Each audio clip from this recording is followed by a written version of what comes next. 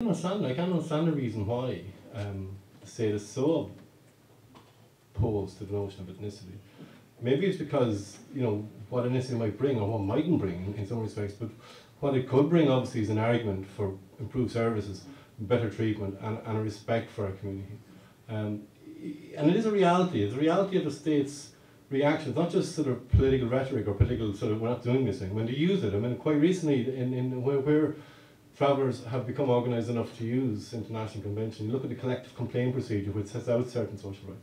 Ireland has been brought there a number of times. The most recent one is the complaint by the European Roma Rights Centre on behalf of Irish travellers.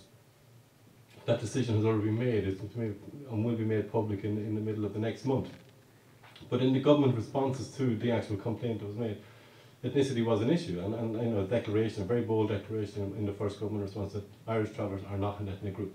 So it is used legally, it's used in a legal context to try and prohibit um, any improvement in, in, in, in respect of, of, of, the tribal community in Irish society.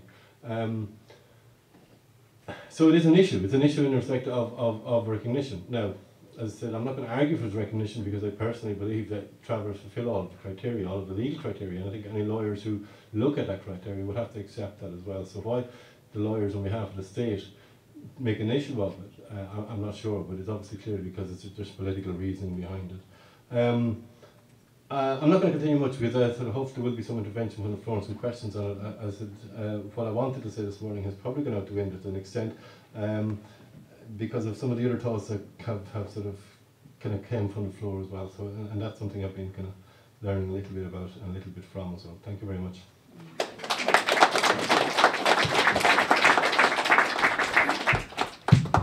Thanks, David.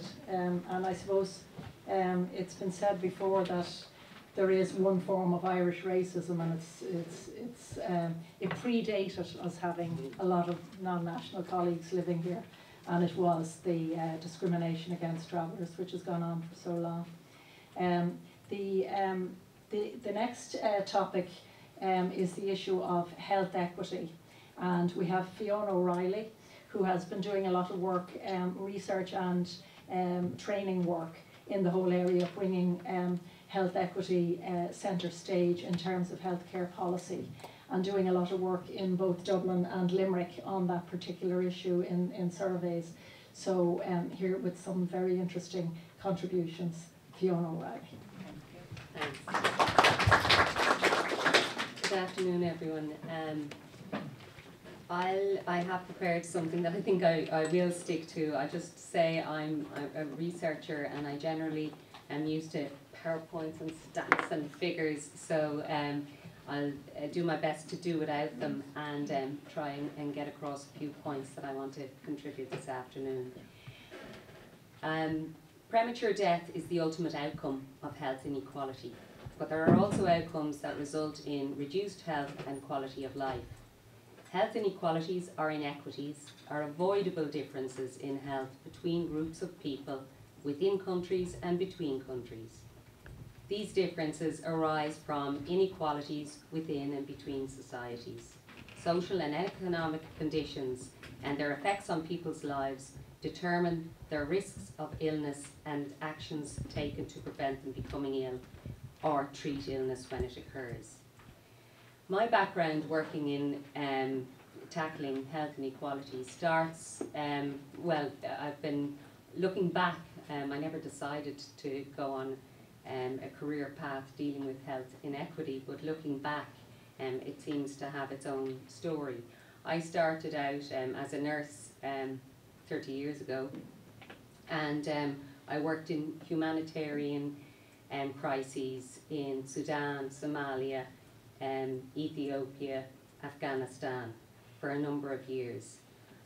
Um, over the course of my work as a practitioner, I found that um, people's rights were not respected. Their rights to basic things, food, water, water shelter, health, were not realised.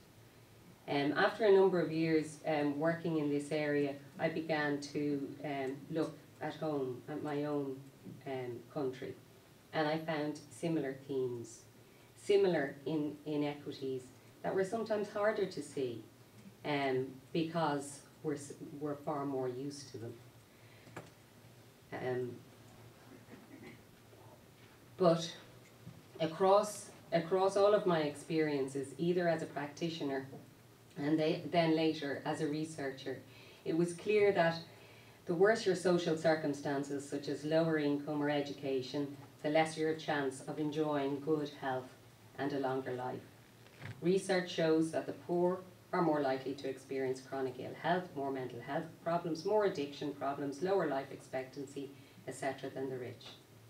There are lots of evidence in health, of health inequalities in Ireland. For example, life expectancy at birth is six years higher for male professionals and five years higher for female professionals than their um, unskilled counterparts. Traveller infant mortality are almost four times higher than the rest of the population.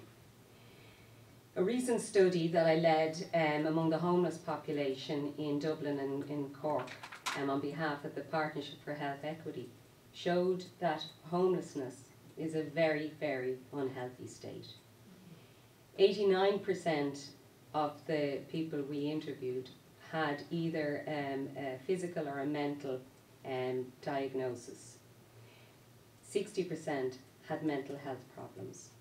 And I suppose the most shocking um, uh, finding that literally jumped um, off the, the analysis uh, screen for me was that more than one third of the 600 plus people we interviewed had attempted suicide. That means every time you know you're walking down Grafton Street and uh, you pass three people, one of those is likely to have attempted to be so low that they attempted to take their own life.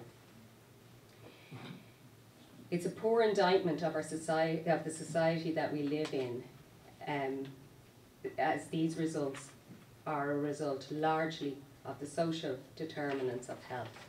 And the social determinants of health, that is, the social, economic, and environmental conditions in which we grow and live, um, and strongly influence our health, health, these are largely a result of public policy.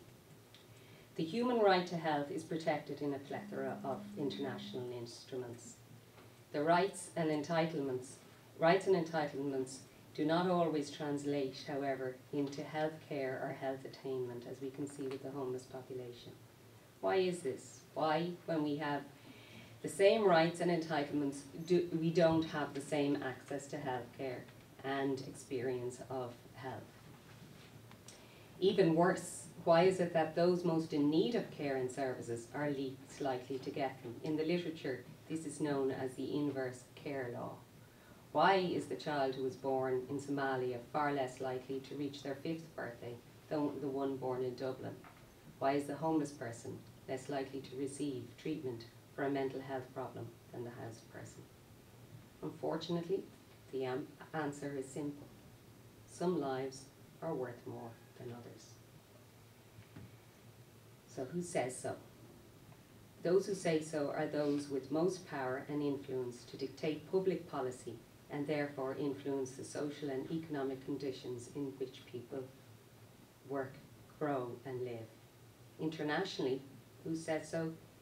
I'm afraid that's us, the minority, the less than 20%, who consume the majority of the world's resources.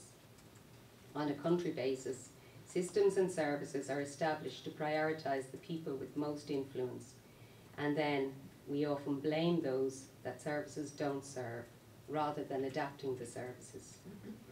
Over the years, um, conducting research and um, showing that um, marginalised groups um, have more adverse outcomes, yet have less access to healthcare.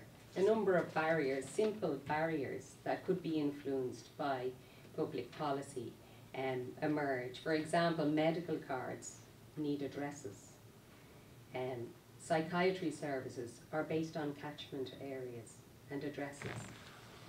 A&E requires that you can physically wait the eight to ten hours or whatever it is that people, but people with serious addictions physically cannot wait. So therefore, they do not have access to care. It goes on and on. Unless we account for the difference and change policy services and opportunities for minorities within Ireland, and indeed the majority internationally, equity will not be achieved. And I think the rights argument is the only argument um, to use. Um, I've an example of trying to change myself actually in Austin O'Carroll, who I, I think you're aware of.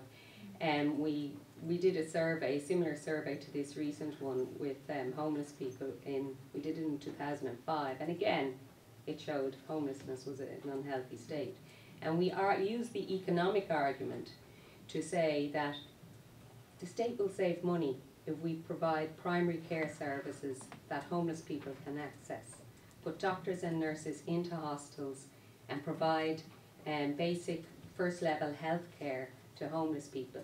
That'll mean they won't have to go to hospitals and we'll save money. The economic argument might work. Unfortunately, our survey in um, to, uh, to eight years later showed that this wasn't the case. The repeat survey showed that yes, there was more access, largely as a result of Austin's work with Safety Net. There was more access for people to primary care in hostels and the like, but there was also increased access to uh, increased um, in, increased numbers of people visiting A and E and being admitted as inpatients.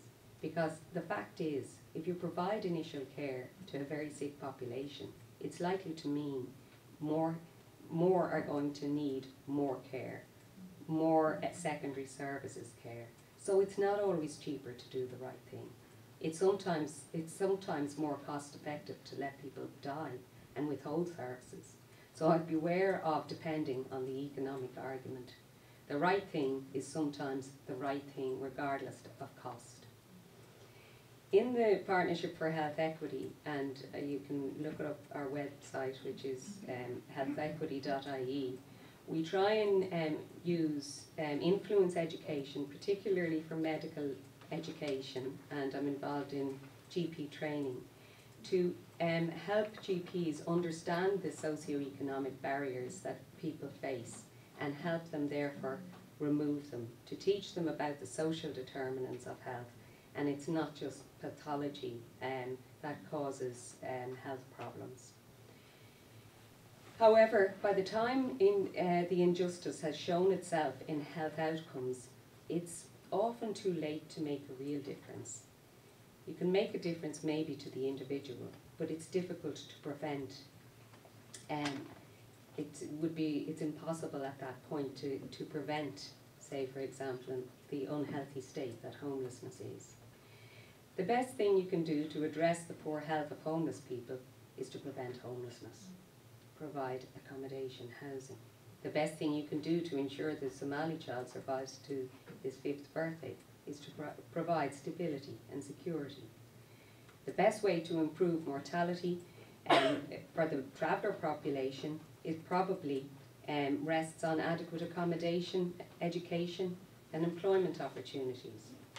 Health outcomes are just that outcomes of how people and society make decisions about who and what's important. Until the inverse care law, which states that those in most need of care are least likely to get it, can be turned on its head, the right to health will not be realised. Thank you.